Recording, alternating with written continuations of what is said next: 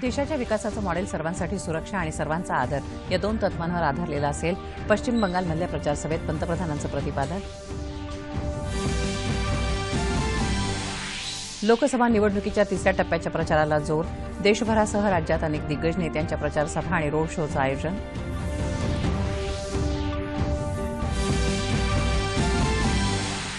काँग्रेसची न्याय योजना देशाच्या अर्थव्यवस्थेला चालना देण्याचं काम करेल. छत्तीसगडमधल्या सभेत राहुल गांधी यांचं जनतेला आश्वासन.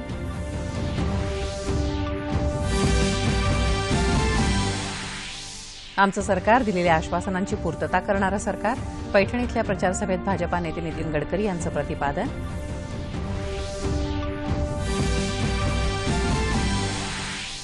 पी पंधरा ब्राओ इम्फाल या अत्याधुनिक शस्त्रसज्ज विनाशिका युद्धनौकेचं आज मुंबईच्या माझगाव डॉक इथं लोकार्पण.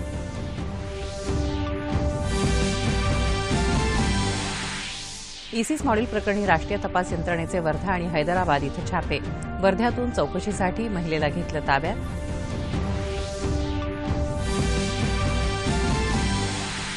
आणि उत्तर प्रदेशमध्ये कानपूरजवळ पूर्वा एक्सप्रेसला अपघात तेरा जण जखमी रेल्वे मंत्रालयाकडून चौकशीचे आदेश. नमस्कार साडेनऊच्या बातमीपत्रामध्ये मी ज्योती आंबेकर आपलं स्वागत करते. आता पाहूया बातम्या विस्तारानं. देशाच्या विकासाचं मॉडेल सर्वांसाठी सुरक्षा आणि सर्वांचा आदर या दोन तत्वांवर आधारलेलं असेल असं प्रतिपादन पंतप्रधान नरेंद्र मोदी यांनी केलं. ते आज पश्चिम बंगालमधल्या बुनियादपूर इथं एका प्रचार सभेत बोलत होते. तृणमूल काँग्रेसच्या प्रमुख ममता बॅनर्जी यांनी माता भूमी आणि जनतेच्या नावाखाली लोकांची फसवणूक केल्याचा आरोप पंतप्रधान नरेंद्र मोदी यांनी केला आहे. दीदी को आप तेईस मई के बाद समझ आ जाएगा कि जनता के साथ गुंडागर्दी करने का उनके पैसे लूटने का उनका विकास रोकने का नतीजा क्या होता है? सरकार पुन्हा सत्तेवर आल्यावर भारत बांगलादेश सीमेवर कुंपण घालण्याचं काम प्राधान्यानं केलं जाईल असं सांगत नागरिकत्व सुधारणा कायदा सर्वांच्याच हिताचा असल्याचं ते म्हणाले. तृणमूल काँग्रेसच्या प्रचारासाठी बांगलादेशातल्या लोकांना परवानगी दिल्याबद्दल त्यांनी यावेळी टीका केली. बालाकोट इथं केलेल्या हवाई हल्ल्याचे पुरावे ममता बॅनर्जी मागत आहेत. मात्र त्यांनी चिटफंड घोटाळ्यात सहभागी असणाऱ्यांच्या विरुद्ध आधी पुरावे गोळा करावेत असं मोदी म्हणाले. ममता यांनी गरिबांच्या कष्टाची कमाई लुटली. तसंच घोटाळे करणाऱ्यांना मंत्री बनवलं असा आरोपही त्यांनी केला. जनताच त्यांना धडा शिकवेल असा टोलाही त्यांनी लगावला. बिहारच्या आराहिया इथंही पंतप्रधानांनी प्रचारसभा घेतली. काँग्रेसनं नेहमीच देशहितापेक्षा मतपेढीच्या राजकारणाला प्राधान्य दिलं अशी टीका त्यांनी केली.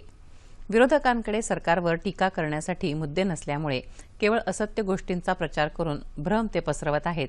अशा खोट्या गोष्टींपासून सावध रहा असं आवाहन पंतप्रधानांनी केलं.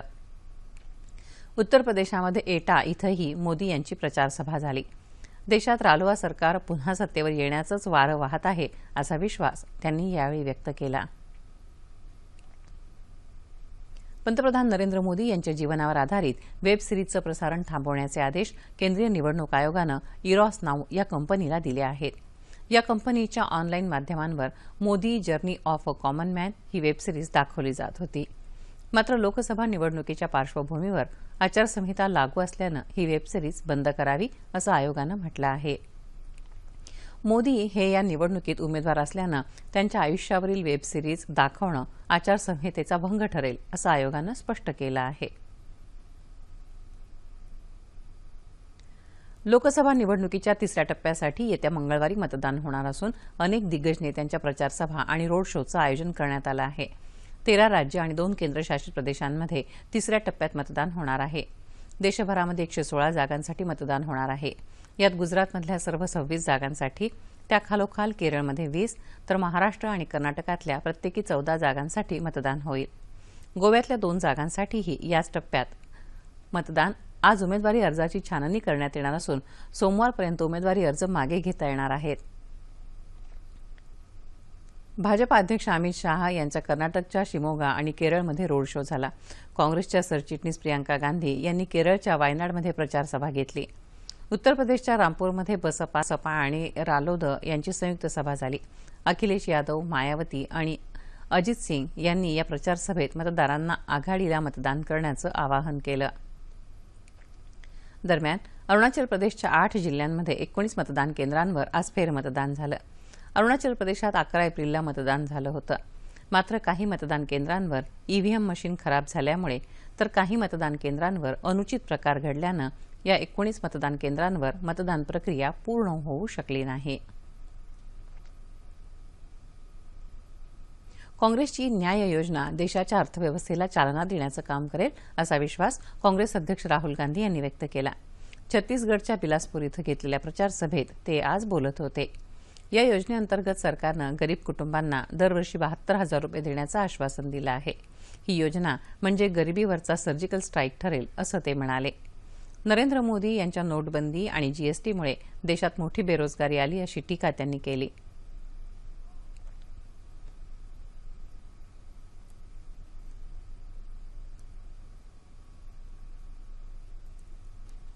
न्याय योजना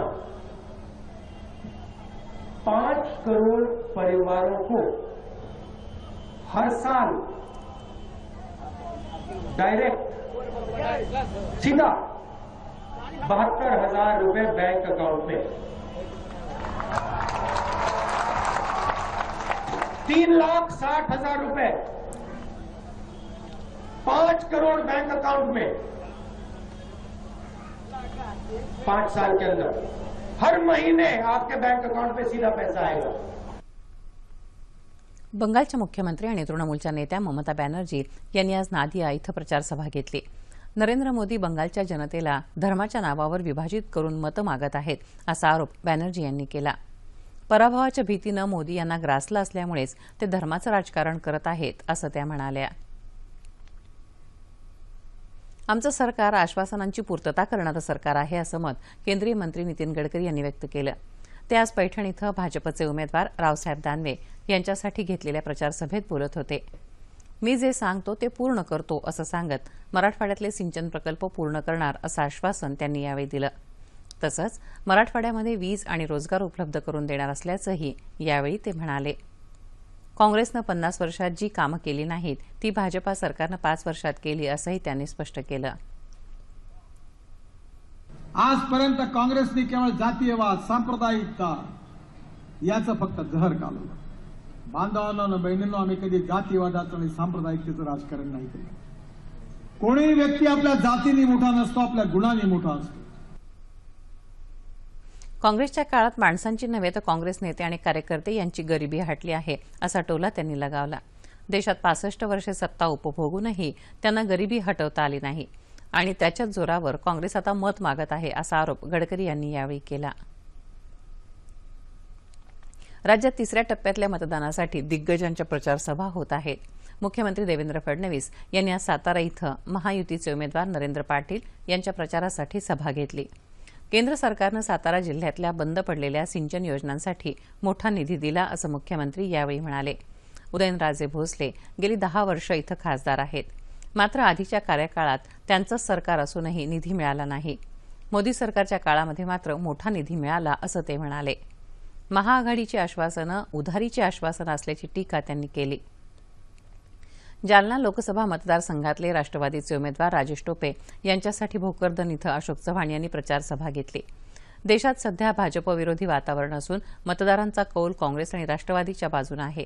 त्यामुळे आमचे उमेदवार मोठ्या मताधिक्यानं निवडून येतील असा विश्वास महाराष्ट्र काँग्रेस समितीचे प्रदेशाध्यक्ष अशोक चव्हाण यांनी व्यक्त केला. आमदार अब्दुल सत्तार यांनी पक्षाच्या उमेदवाराच्या विरोधात काम केल्यानं त्यांना पक्षातून काढून टाकण्यात आल्याची माहितीही चव्हाण यांनी दिली. वंचित बहुजन आघाडीच्या उमेदवार सुमन कोळी यांच्या प्रचारार्थ माणगावमध्ये अॅडव्होकेट प्रकाश आंबेडकर यांच्या उपस्थितीमध्ये प्रचारसभा झाली. जनतेच्या कल्याणासाठी आम्ही कार्यरत असून मतदारांनी आम्हाला साथ द्यावी असं आवाहन त्यांनी यावेळी केलं. गेली अनेक वर्ष सत्तेत असलेल्या पक्षांनी देशाच्या विकासासाठी काहीही केलं नाही. त्यांना मत द्या आणि भाजपा सरकारनं चाळीस टक्के प्रकल्प पूर्ण केले काही काम सुरू आहेत त्यांना मत देऊ नका असं म्हणणं ही राजकीय दिवाळखोरी आहे असं मत शिक्षण मंत्री विनोद तावडे यांनी व्यक्त केलं. लोकसभेच्या निवडणुका या व्यक्तीपेक्षा पक्ष आणि देशाच्या सुरक्षेसह राष्ट्रीय विषयावरच होत असतात. देशाची सीमा सुरक्षित राखायची असेल तर जनतेनं सेना भाजप युतीला निवडून द्यावं असं भाजपचे ज्येष्ठ नेते आणि महसूल मंत्री चंद्रकांत पाटील यांनी सांगितलं. महायुतीचे उमेदवार संजय मंडलिक यांच्या प्रचारासाठी पाटील यांनी कोल्हापुरात प्रचारसभा घेतली. त्यात ते बोलत होते. राष्ट्रवादी काँग्रेसचे नेते अजित पवार यांनी आज पुण्यात रोड शो केला. पुणे लोकसभा मतदारसंघातले काँग्रेस राष्ट्रवादीचे उमेदवार मोहन जोशी यांच्या प्रचारासाठी हा रोड शो आयोजित करण्यात आला होता. काँग्रेस आणि राष्ट्रवादी काँग्रेस पक्षानं जातीपातीच्या नावावर देशाचे तुकडे केले. मात्र मोदी सरकारनं सर्वसामान्य जनतेला वि- विमा कवच दिलं.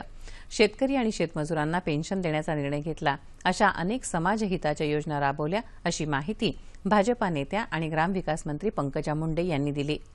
अहमदनगर लोकसभा मतदारसंघातले सेना भाजपा महायुतीचे उमेदवार डॉक्टर सुजय विखे पाटील यांच्या शेवगाव इथल्या प्रचारसभेत त्या बोलत होत्या. आपण दिलेल्या मताला आम्ही न्याय देऊ असा विश्वास मुंडे यांनी यावेळी व्यक्त केला. तर औरंगाबादमध्ये काँग्रेसचे उमेदवार सुभाष झांबड यांच्या प्रचारासाठी काँग्रेस नेते नवज्योत सिंग सिद्धू उपस्थित होते. बीएसएनएल सारख्या कंपन्यांना तोट्यात आणून अंबानी आणि अदानी या उद्योगांच्या खासगी कंपन्यांना फायदा मिळवून देण्याचं काम पंतप्रधान करत आहेत असा आरोप सिद्धू यांनी यावेळी केला.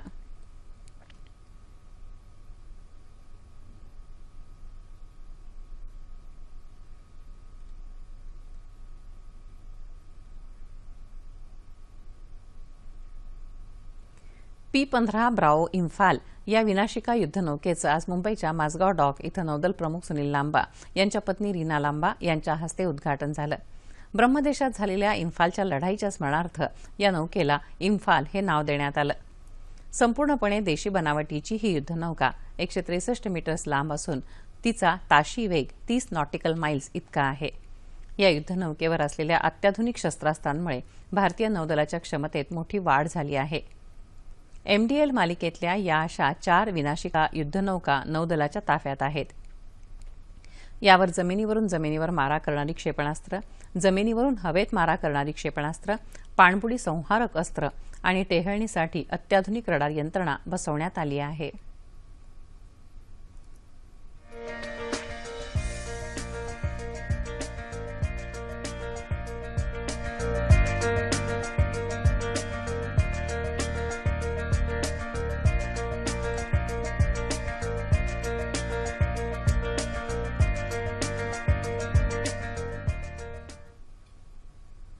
नौदलाच्या सध्या असलेल्या क्षमतेबद्दल आपण समाधानी आहोत असं अॅडमिरल सुनील लांबा यावेळी म्हणाले. मात्र नौदलाची शक्ती वाढवण्यासाठी दीर्घ मुदतीचा कार्यक्रम तयार करण्यात आला असून आज नौदल स्वतः आपल्या शस्त्रास्त्र आणि उपकरणांची निर्मिती करत आहे याचा आनंद त्यांनी व्यक्त केला. राष्ट्रीय तपास यंत्रणा म्हणजेच एनआयएच्या चमूनं आज वर्धा आणि हैदराबाद इथं काही ठिकाणी छापे घातले. वर्ध्याच्या सेवाग्राम इथल्या मसाळा परिसरामध्ये एका घरावर छापेमारी करत तिथून एका महिलेला चौकशीसाठी ताब्यात घेण्यात आलं. ही महिला आजच सकाळी हैदराबाद इथून वर्ध्याला गेल्याचं समजतं. सकाळपासून या महिलेची चौकशी सुरू असून या कारवाईबाबत कमालीची गुप्तता पाळली जात आहे. इसिस या दहशतवादी संघटनेच्या मॉड्यूल संदर्भात सुरू असलेल्या तपासाचा भाग म्हणून हे छापे घातले गेल्याचं समजतं. हैदराबादमधल्या काही ठिकाणी अबुधाबी इथल्या ईसीशी संबंधित व्यक्तींच्या कारवाया सुरू असल्याची माहिती एनआयएला मिळाली. त्या आधारावर हे छापे घातले जात आहेत.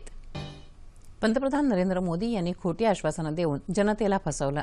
भाजपच्या संकल्पपत्रामध्ये दहशतवादाला थारा नाही असं म्हणणाऱ्या मोदींनी दहशतवादाचा आरोप असलेल्या साध्वी प्रज्ञा सिंग ठाकूर यांना तिकीट कसं काय दिलं असा सवाल एमआयएमचे अध्यक्ष असदुद्दीन ओवेसी यांनी केला.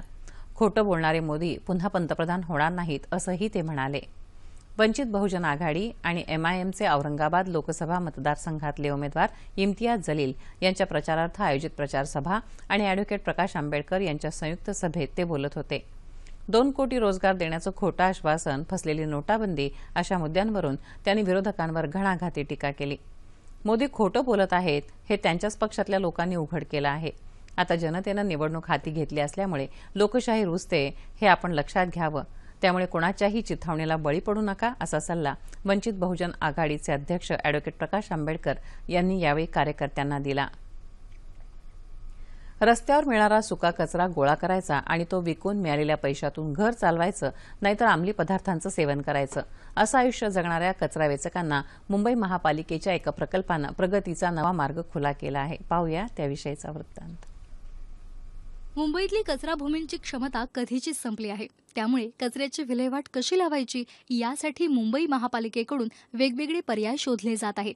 कचऱ्याचं प्रमाण कमी करण्यासाठी पालिका प्रशासन विविध उपाय राबवत आहेत. मोठ्या गृहसंकुलांनी ओला कचरा आपल्या आवारात जिरवणं पालिकेनं बंधनकारक जरी केलं असलं तरी तिथून निघणाऱ्या सुक्या कचऱ्याची विल्हेवाट लावण्यासाठी पश्चिम पालिकेच्या एच विभागानं पुढाकार घेतला आहे. एच पश्चिम विभागाचे सहाय्यक आयुक्त शरद उघडे यांनी तीस ते चाळीस कचरा वेचकांना एकत्र आणून आसरा वेलफेअर असोसिएशनच्या माध्यमातून सुक्या कचऱ्याचं वर्गीकरण करण्याचा प्रकल्प सुरू केला. या केंद्राला एखाद्या कारखान्याचं स्वरूप देण्यात आलं असून तिथं सुमारे साडेचारशे कचरा वेचक काम करत आहेत. या प्रकल्पासाठी कामगारांना कचरा गोळा करण्यासाठी तीन चाकी सायकल टेम्पो अशा यंत्रणा उपलब्ध करून दिल्या आहेत. तसंच त्यांना कचऱ्याचं वर्गीकरण करण्याचं प्रशिक्षण सुद्धा दिलं जात आहे. घरोघरी कचरा गोळा करण्यासाठी प्रत्येकाला मार्ग आखून दिले आहेत. त्यामुळे कचऱ्याचं वर्गीकरण तर होत आहेच शिवाय कचरा वेचकांना याचा चांगला मोबदला देखील मिळत आहे. पूर्वी हे कचरा वेचक मिळेल तो कचरा विकून रोजचा दिवस ढकलत होते. मात्र आता त्यांना खात्रीशीर कमाई उपलब्ध झाली आहे. यापैकी काही कामगार अंमली पदार्थांच्या आहारी गेले होते. मात्र त्यांचं पुनर्वसन करण्यात आलं आणि तिथल्या कामगारांचा लीलावती रुग्णालयात वैद्यकीय विमा उतरवण्यात आला आहे. त्यांना बँकेत खाती उघडून देण्यात आली आहेत. शिवाय त्यांच्या मुलांना महापालिकेच्या शाळेत शिक्षणही दिलं जात आहे.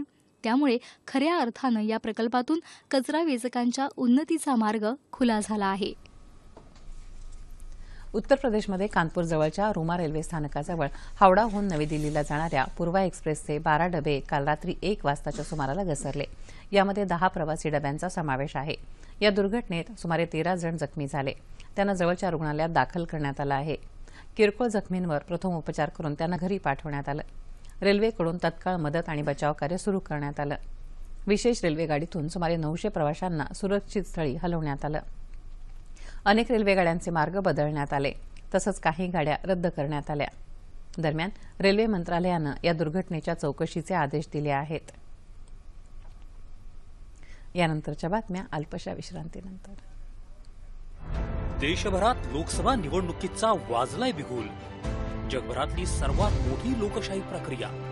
या प्रक्रियेत घडणाऱ्या प्रत्येक घडामोडी राजकीय उलथापालन नेत्यांचे प्रचार त्यांच्या घोषणा उमेदवारांच्या भेटीगाठी मतदारसंघांचा आढावा तिथं होणारी काटेकी टक्कर. काय असतील राजकीय गणित? कशा आहेत लोकांच्या आशा अपेक्षा? या सर्वांचा समावेश असणारा एक सर्वंकष कार्यक्रम सर्व प्रस्तुत जनादेश दोन हजार एकोणीस. पंचवीस मार्च पासून दूरदर्शनच्या सह्याद्री वाहिनीवर सायंकाळी साडेसात ते आठ या वेळेत. तेव्हा पाहायला विसरू नका. सर्व प्रस्तुत जनादेश दोन हजार एकोणीस. प्रस्तुत करता सर्व world class lubricant from Indian Oil हवामान? गेले चोवीस तासामध्ये राज्यातलं हवामान प्रामुख्यानं कोरडं होतं. पश्चिम महाराष्ट्रात आणि मराठवाड्यात तापमानानं चाळीस गाठले असून आज राज्यात सर्वाधिक तापमान ब्रह्मपुरी इथं बेचाळीस पूर्णांक सहा अंश सेल्सिअस नोंदवलं गेलं. येत्या चोवीस तासात विदर्भात तुरळक ठिकाणी पाऊस पडण्याची शक्यता आहे. मध्य महाराष्ट्र आणि मराठवाड्यामध्ये हवामान कोरडं राहील. येत्या अठ्ठेचाळीस तासात विदर्भात तुरळक ठिकाणी उष्णतेची लाट येण्याचा इशाराही हवामान विभागानं दिला आहे. आणि आता ठळक बातम्या पुन्हा एकदा.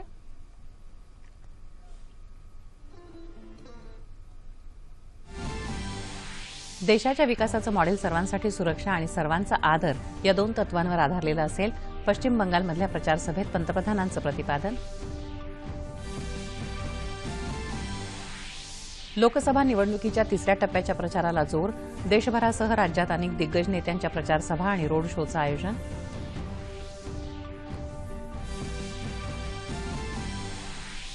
काँग्रेसची न्याय योजना देशाच्या अर्थव्यवस्थेला चालना देण्याचं काम करेल छत्तीसगडमधल्या सभेत राहुल गांधी यांचं जनतेला आश्वासन.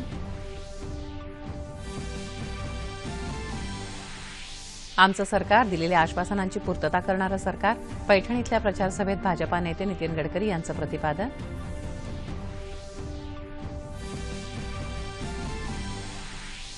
पी पंधरा ब्राओ इम्फाल या अत्याधुनिक शस्त्रसज्ज विनाशिका युद्धनौकेचं आज मुंबईच्या माझगाव डॉक इथं लोकार्पण.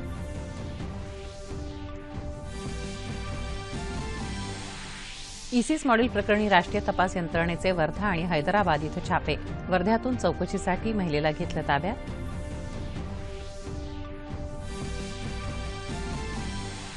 आणि उत्तर प्रदेशमध्ये कानपूरजवळ पूर्वा एक्सप्रेसला अपघात तेरा जण जखमी. रेल्वे मंत्रालयाकडून चौकशीचे आदेश. याबरोबरच हे बातमीपत्र संपलं. पुन्हा भेटूया उद्या सकाळी पावणे नऊ वाजता. सह्याद्री वाहिनीवर. नमस्कार.